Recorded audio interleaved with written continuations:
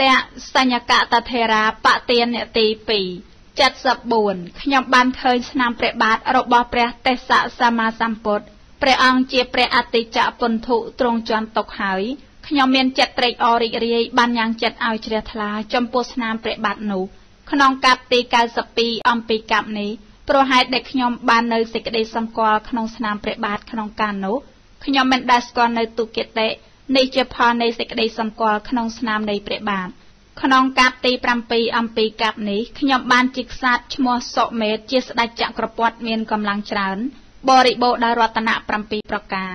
បដិសម្ភិទា4វិមោក8និងអភិញ្ញា6នេះខ្ញុំបានធ្វើឲ្យជាច្បាស់ហើយ ទាំងសាសនារបស់ព្រះពុទ្ធខ្ញុំក៏បានប្រតិបត្តិហើយ បានលើថាព្រះបតិអសញ្ញកតថេមានអាយុបានសំដែងនៅគាថាទាំងនេះដោយប្រការដូចនេះ ជាប់បតិអសញ្ញកតថេរាបទាន